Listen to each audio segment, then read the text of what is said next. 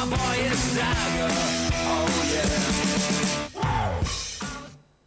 Eccoci rientrati in studio, vi ricordiamo che come al solito l'appuntamento di Rossa Azzurri va in onda ogni lunedì insieme a Valentina Mammino, poi c'è questa appendice del giovedì con Antonio Costa, oggi in via del tutto eccezionale il sottoscritto a condurre l'appuntamento appunto di questa settimana, augurando chiaramente anche la pronta guarigione alla collega Antonio Costa. Ospiti Giuseppe Sorbello e anche Salvo Angemi. Abbiamo detto eh, che dobbiamo parlare della, della partita di eh, domenica sera al Massimino tra Catania e Udinese e lo facciamo subito con il servizio di Valentina Mammino.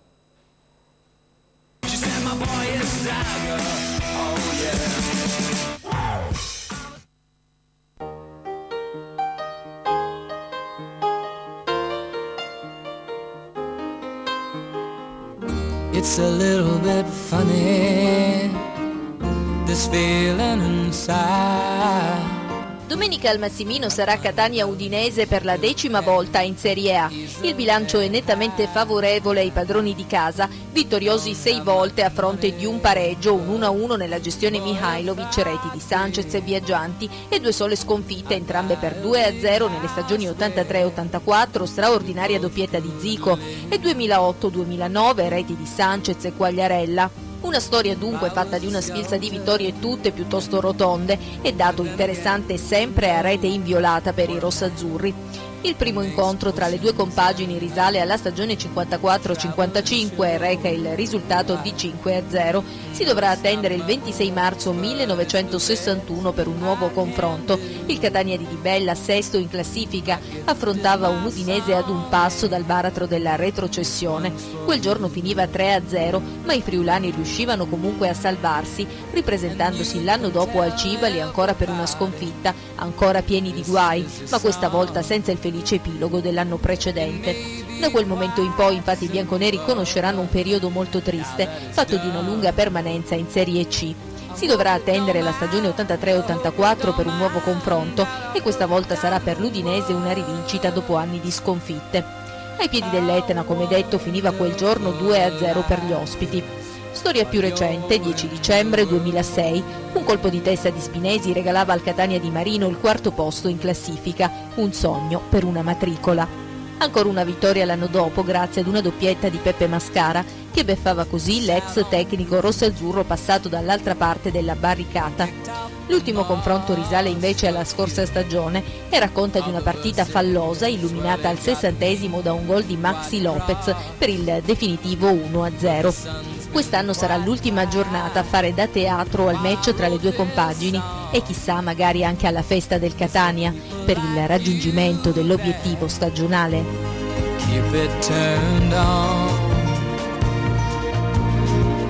So excuse me for getting But these things I do You see I've forgotten If they're green or they're blue desire.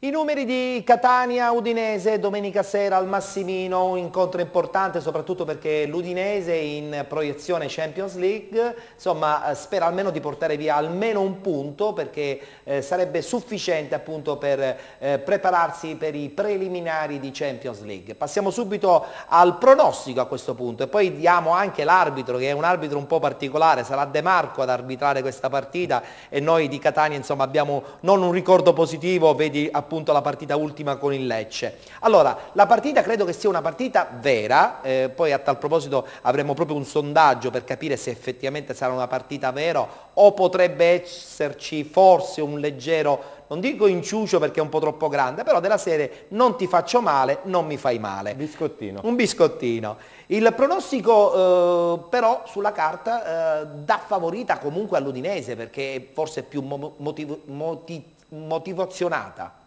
Dico bene?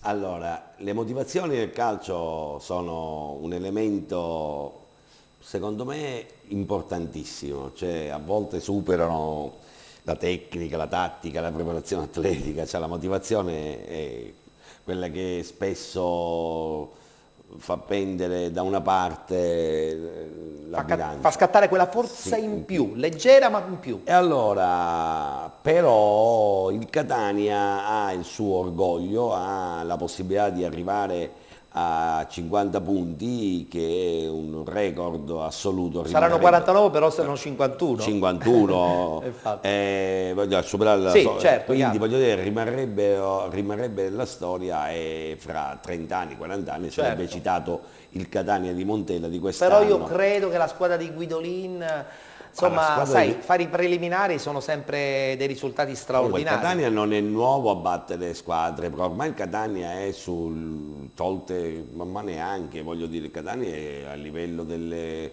delle squadre di alta classifica, perché...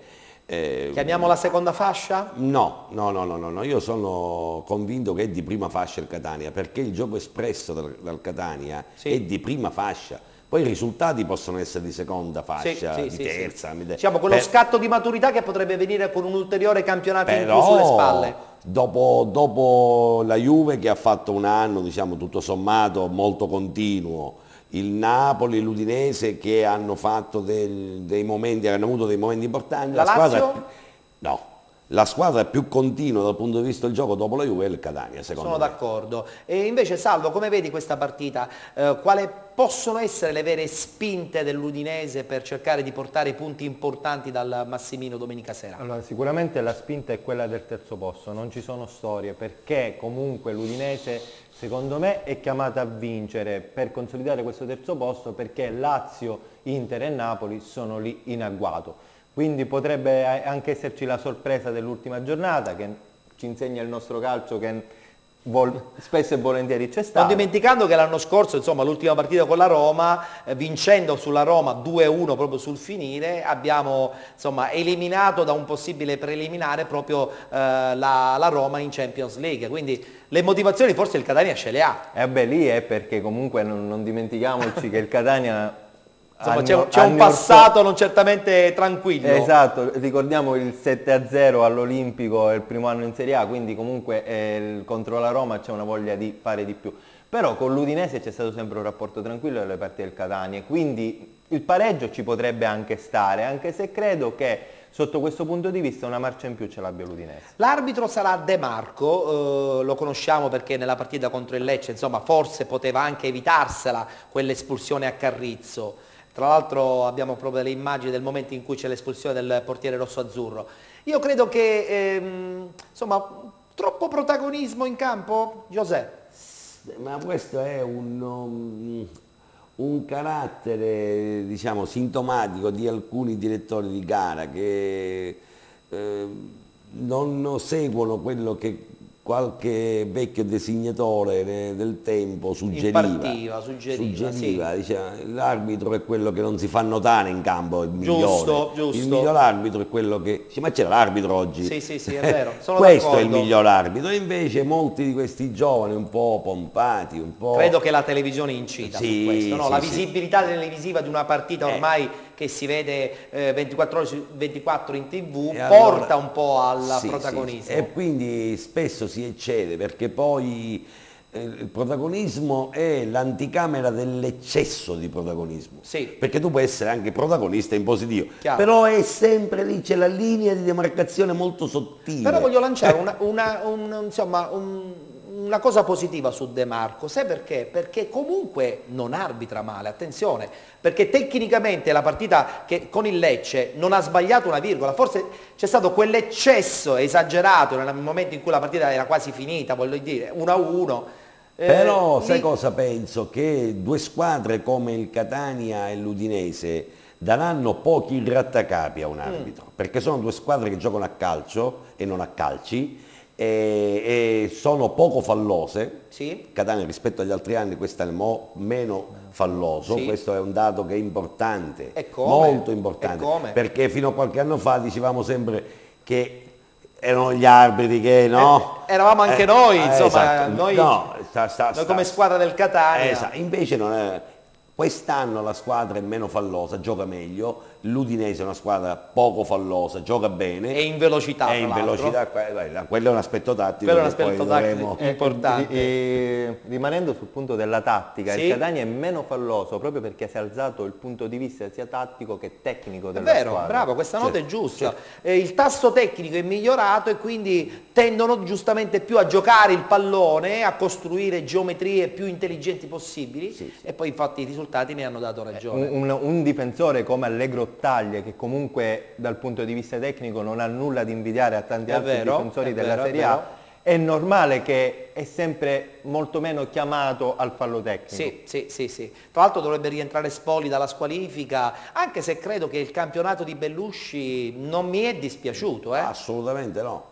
Però la coppia Grottagli e Spolli è una leggermente coppia, più affidabile. Una coppia che specie sul piano aereo, sì, infatti, aereo. Ma infatti. A Spolli ancora, a Bellusci manca ancora quel senso di sicurezza sì, sul pallone. Sì, sì, Sembra Beh, ancora è in un trend di crescita, dai, diamogli questa possibilità. Sarà una, se continuerà a rimanere a Catania, sarà sicuramente il difensore di domani. È vero. Ultima domanda e poi dopo andiamo subito in pubblicità. Giuseppe, ma Capuano, questa esplosione di Marchese insomma, non è stata certamente molto bella per eh, il, terzino sinistro del Catania, è stata una stagione molto sfortunata per Capuano. Io eh, insomma, mh, mi fa piacere che eh, Marchese abbia veramente fatto un campionato straordinario, però abbiamo un po' sofferto anche la mancanza di una continuità, di una certa continuità che comunque Capuano ci aveva garantito negli anni passati. Lo so, questo, però questo è un'analisi giusta quella che fai, però riguarda un singolo.